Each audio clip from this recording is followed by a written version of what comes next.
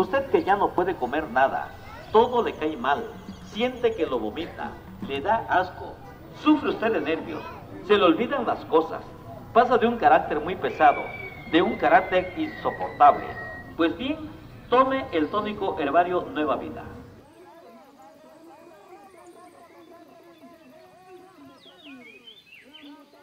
En unos días recordaremos los 37 años de la erupción del volcán Chichonal.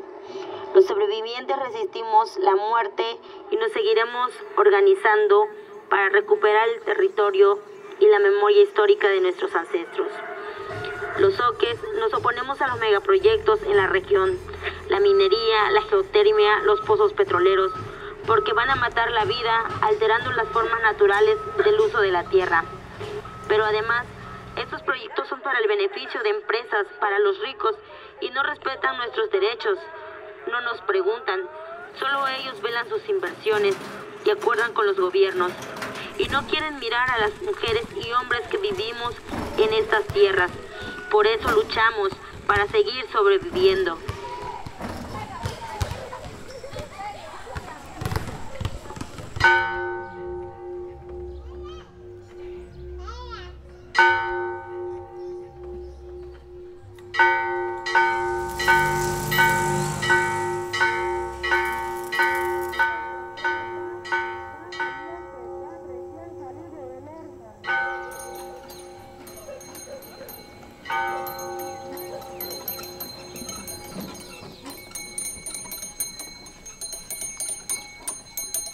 Allez, top.